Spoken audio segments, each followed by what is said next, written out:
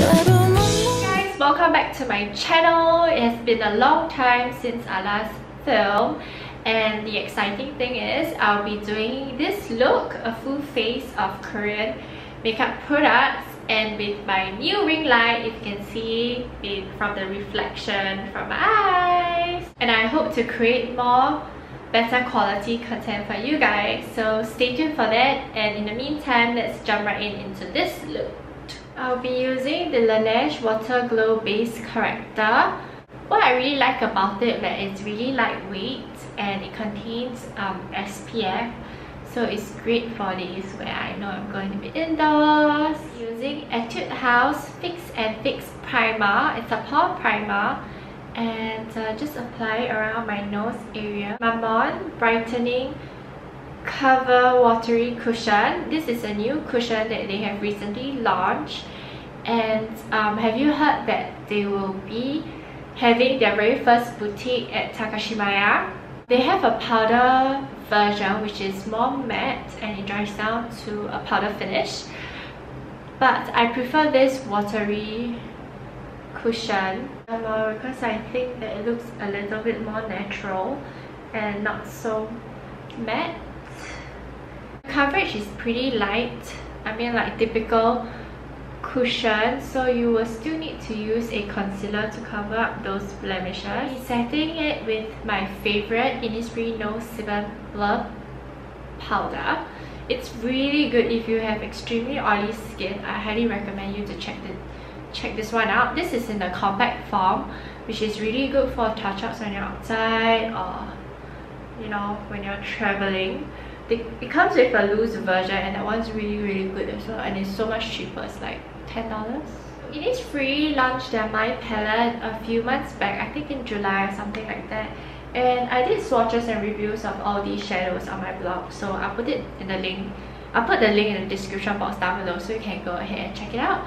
So I'll be using this shade this matte shade in number 3 and this matte shade in number 4 as my base and by the way I have already applied um, eyeshadow primer.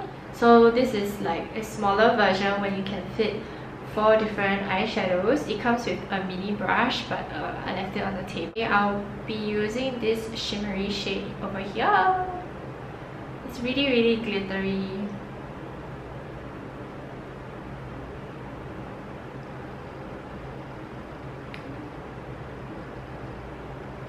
it's like chunky kinds of glittery shade in number 25 and along my outer V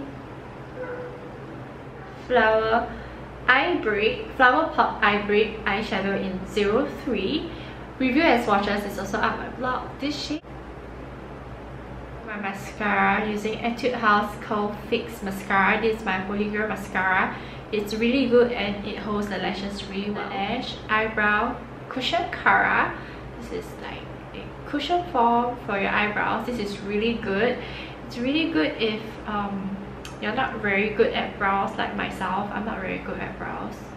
But uh, yeah, it's just super easy to use because it's not like very intense also so you can slowly build it up. Kill Black waterproof tan liner I'm usually a gel type of person so uh, I hope this will be good. This will turn out well. It's definitely very pigmented. Ideal Blush Duo in number 6 wood blossom. So it's like a contour shade i'll be using this one and this is a laneige brush in number 06 see it's like a, for contouring. So yeah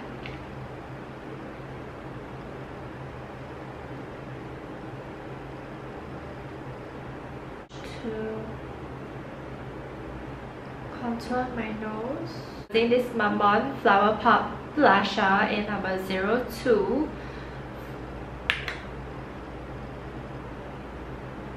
this is like a really nice kind of shade. Ideal Blush Duo in number 4 California Coral this shade. Yeah.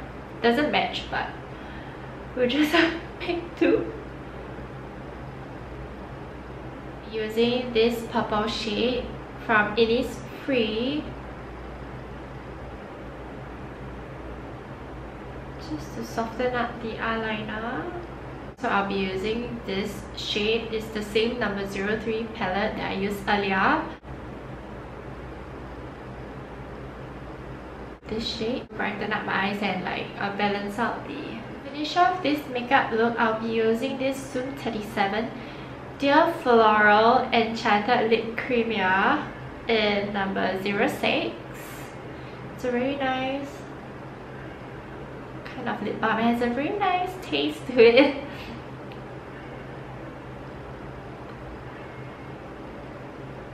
and by the way um they opened their third beauty counter at Isetan Tampines recently. So if you live in the east, do hop over to check it out.